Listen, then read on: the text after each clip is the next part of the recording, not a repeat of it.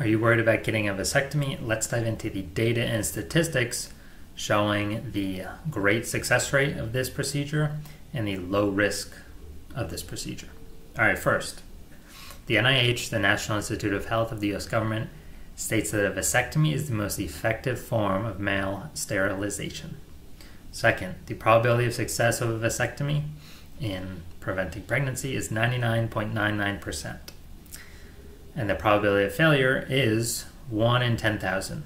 Now, this clock for counting success or failure happens after the three month mark.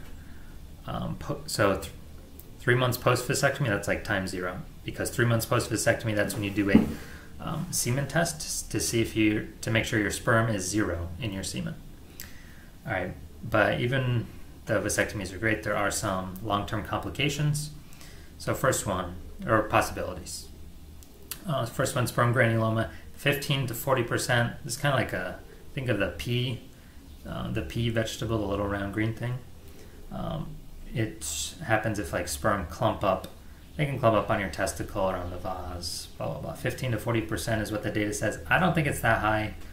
Um, and they don't always cause you pain. So I could have a sperm granuloma right now, but it's not affecting me. And also, the doc I did my vasectomy with says yeah, you know, my patients maybe have gotten them, but they haven't complained. So um, either they have granuloma and it causes no pain, or they have no granuloma. All right, second, epididymitis. The epididymis is a little sac on the back of each of your testicles. basically um, takes in the teenage sperm and grows it to mature adult sperm. If you have the bottom half of the vas connected to your testicles closed, then sperm are still being created and it's building up pressure there, which can annoy the epididymis, causing epididymitis, which is a form of post vasectomy pain syndrome, which is the third one. Oh, epididymitis is 1% to 3% as well.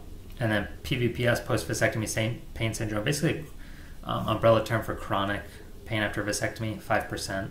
Um, I didn't have any of these, everything went perfect with mine. So if you're considering getting a vasectomy,